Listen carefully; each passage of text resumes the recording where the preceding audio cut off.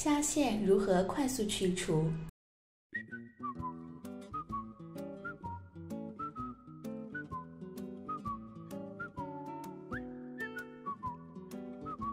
准备一个大碗，倒入清水，放入新鲜虾，涮洗干净，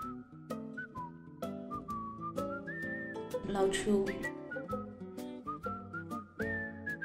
取一个虾，虾背朝上，使虾的背部弯曲，将牙签对准虾背部，从虾头数第二个关节处，水平方向戳过去。轻轻用力，慢慢将虾线拽出来。